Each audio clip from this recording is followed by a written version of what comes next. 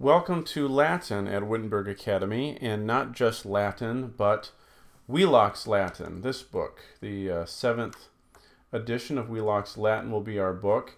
And this introductory video is to talk a bit how, about how we'll use this book. Because Wheelock's Latin is an excellent textbook. It is really the, the standard textbook in high school and college level introduction to Latin grammar courses.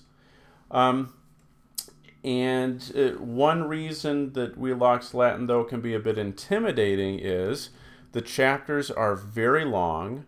There's a whole lot in each chapter.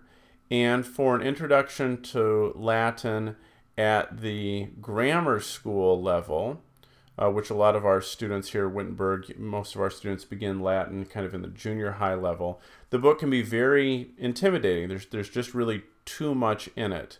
Uh, we have another entire course of Latin uh, here at Wittenberg that uses a different book that was originally written kind of for the, the junior high grammar school level, and that's another full course.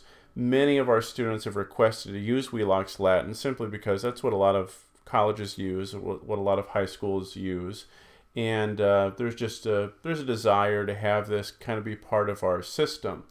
Now, I teach Wheelock's Latin at the college level, and even at the college level, I don't use everything in the book. There is just too much. It's overwhelming for the typical three hour course. That is, uh, in college, uh, courses are uh, determined by their uh, you know your level of involvement. How many times a week are you going to class? What's the expectation for how much time during the rest of your week you're going to spend on homework. And so the typical three hour class meets for three hours a week. Uh, you, meet Monday, Wednesday, Friday, and then you would have a corresponding amount of homework.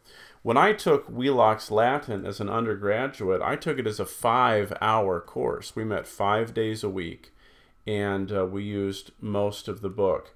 Now, most undergraduate courses, even at the collegiate level, simply do not spend that much time. Um, so even at, at, that level, you're not going to use everything in the book.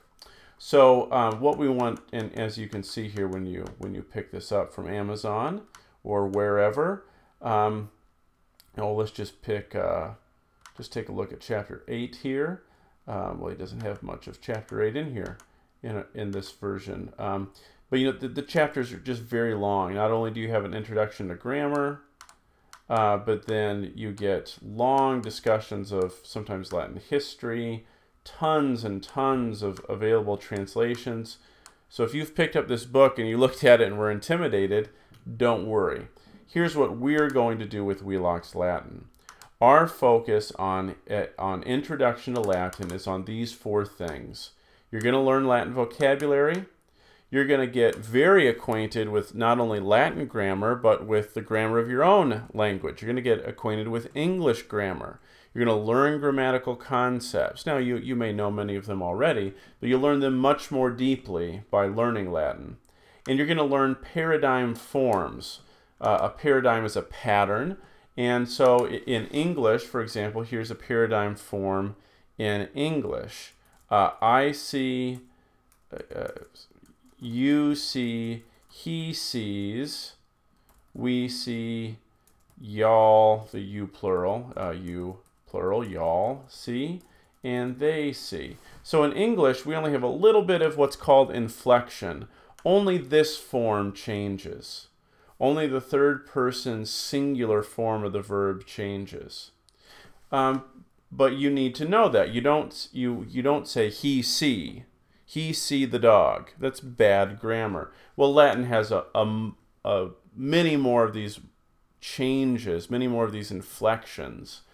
And so their paradigm forms are numerous, and this is a huge part of this third step here. Just a huge part of what you'll be doing when you learn Latin.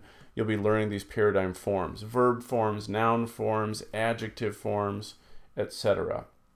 And then we're also going to work on a fundamental translation method that you are going to learn very, very well. So you're going to learn vocabulary, you're going to learn grammar, you're going to learn uh, to recognize and reproduce the paradigm forms, and you're going to learn how to translate Latin. and you're going to learn it in such a way that you're going to that when you are when we're done with what we do in Wheelock's Latin, you are going to be ready to move into a readings course and uh, begin to read unabridged Latin. Now, each one of our video lessons includes, therefore, a discussion of the grammatical topic. You know, I'll walk you through the material in Wheelock but, you know, I'm going to expect you to read through the chapter on your own. We're not going to sit together in this video. I'm not going to read you paragraph by paragraph what Wheelock says. You should read his explanations. I'm going to discuss the grammar. I'm going to make it easier to understand. I'm going to explain to you in a much more condensed way what Wheelock often spends a long time talking about. This is another thing that people find intimidating about Wheelock when they try to use it for self-study. Um, you know, what exactly did he mean by this very long, two-paragraph long explanation? Oftentimes it can be boiled down much more simply. That's what I'm going to do for you as your instructor. Um, I'll give you an introduction to the paradigm forms, walk you through them, um, and then we'll go through a specific number of translation exercises. So for example here I'll open up my copy kind of randomly to chapter 20 and in chapter 20 there are 12 uh, exercise sentences to translate and then there are 13 more um, direct quotations from Latin literature and then there's another paragraph. We're not going to do that. What I'm going to do is I'm going to pick two or three sentences that are going to teach you, help you learn the material in that week's lesson. And then, I, and then you are going to go through the very specific translation method that I'm going to teach you here after a couple lessons. And you're going to do that work and then you'll go back to the video and get your work corrected.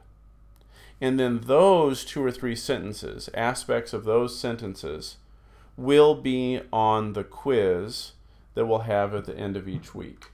And, and this is what our week looks like. So on day one, you're going to watch the video, and then you're going to make your flashcards for all the paradigm forms and vocabulary from that week's chapter. In the beginning lessons, I'll walk you through the vocabulary even, you know, very closely. As we move through the course and you get you get better at this, you're not going to need me to read to you the vocabulary. You're going to know how to make those flashcards on your own. Um, and then on days two and three, so you, on a usual week, that'll be Tuesday and Wednesday, you'll want to study your flashcards. And if needed, if you don't understand some of the grammar topics, either review the video and or log into our weekly chat which is usually on Wednesdays. That's usually when I schedule mine. Um, if you have any questions. And if for whatever reason you can't make our weekly Latin chat, just email me any questions you have. Most of my students don't log in to our weekly chat. The video lesson and the textbook make clear the grammar that we're to learn uh, but if you do have any questions, do log in. Each week I have a, a, few students who do log in. So if you have a specific question, if you're having trouble, you didn't understand a translation, you're stuck on a grammar topic, log in to the weekly chat or send me an email and we will get all your questions answered. Then, either on day three or four, so again, that's most weeks, Wednesday or Thursday, then you need to work on your assigned translations obviously before watching the portion of the video that gives the answers to the translations. You want to really spend time working on that translation. I tell people at least 15 to 30 minutes per sentence. Um, you need to work on that and really try to work it out yourself according to the step-by-step method that we'll be discussing in a future video. Then watch the corrections and study the information from the corrected translations. Now, for those students who want more exercises, this is a great thing about Wheelock's Latin. If you want to do more work than that, more study work, it'll certainly benefit you. And there are self-study tutorial exercises in Wheelock. They begin on page 412. and then they they have uh, the answers are in the book. So if you want to do more exercises, they're right here in Wheelock's Latin. You will certainly be benefited by doing them. However, again, this is one of those things in Wheelock's Latin. it, it is overwhelming. There's so much. Uh, if you did everything in a chapter of Wheelock's Latin, there's no way you could learn Latin grammar over the course of four quarters, which is which is our goal. That you would get through this entire book over the course of four quarters and be ready to read unabridged Latin. Now, if you spend a little time in the additional exercises, you'll learn Latin better, you'll learn it more thoroughly, you'll do better on the quizzes that I give you at the end of each week. Obviously, the more time you can put in, the better you will do. However, if you just stick with my plan here for these four days, that you're studying the vocabulary and paradigm forms, and you're working on you're working hard on just the translations I assign, and then study for that quiz, study all those things, study the translations that I gave you, study the vocabulary, study the paradigms, and then you take these quizzes. A, you're going to do well on the quizzes, and B, at the end of your time through Wheelock's Latin, at the end of that fourth term, you will know Latin. You will be ready to read unabridged Latin. You'll be ready for our, our reading course, our first reading course. Will take you into Julius Caesar's uh, Gallic Wars. You'll be ready for that. Um, the, I've taught kids, like I said, at both the high school and the collegiate level.